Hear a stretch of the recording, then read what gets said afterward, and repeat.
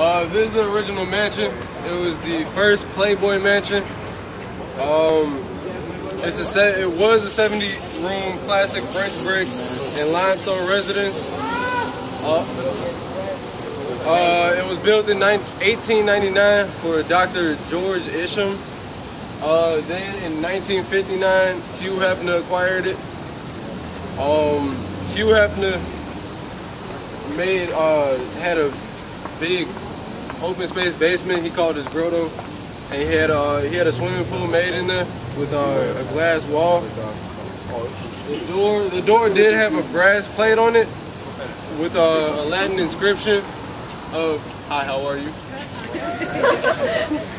um, of a Latin inscription. I don't know how to pronounce it, but it said, "If you don't swing, don't ring." Um, uh, Hefner left permanently after being hassled over alleged cocaine usage by Illinois Governor uh, James R. Thompson. Um, they turned they then turned this into a dormitory for the Art Institute of Chicago.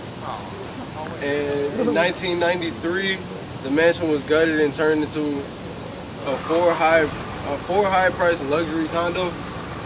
Uh, in 2011, one condo was placed for sale at 6.7 million, and now this is for sale at the whole mansion is for sale at the price of 14.5 million after they gutted it out again. So it's gutted out right now? No, they, they redid it, but they gutted it out again to redo it, and they made it up for sale about uh, at 14.5 million dollars. Okay. Are there still any? what? I like fun. What's in there now? Like what? what Wait, what's that now? it's just it's just furniture and all that stuff.